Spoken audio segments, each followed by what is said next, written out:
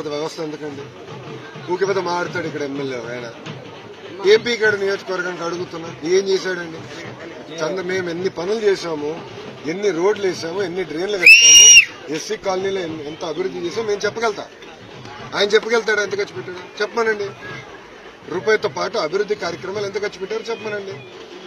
అంతేగాని ఊకే మా నాయకుల పైన కేసులు పెడతాము. మా మేము ఒక కలిసి పోటీ చేసాం కనుక జేఎస్పీ వాళ్ళ పైన ఎంపీటీసీ గారి పైన ఏకంగా ఎస్సీ ఎస్టీ అట్రాసిటీస్ కేసులు పెడతాం అంటే దీని అర్థం అంతా ఏంటండి?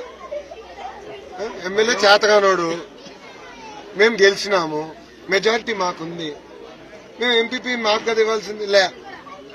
వాళ్ళ వాళ్ళ పైన కేసులు పెడుతున్నాడు. ప్లస్ మా నాయకుల పైన జనసేన గెలిచిన ఏకైక ఎంపీటీసీ గారి పైన ఆయన కేసు పెడతాడు. ఎమ్మెల్యే ఒక దద్దమ్మ. చేతగానోడు. అందుకే పోలీసుని అడ్డం పెట్టుకున్నాడు.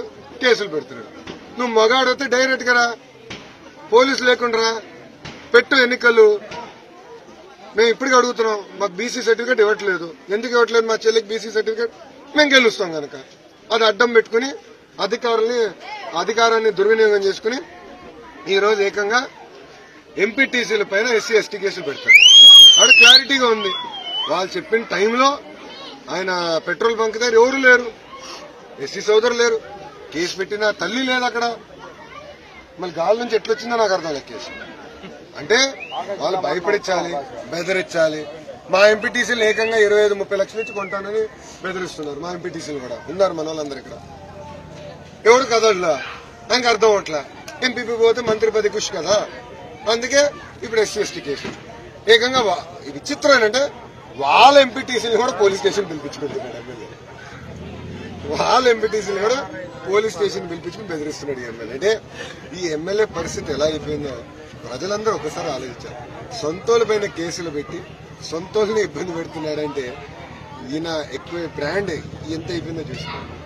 ఇట్లుంది ఇంకా ఎన్నికలకి సున్నా అవుతుంది. అది ఎమ్మెల్యే గారి పరిస్థితి.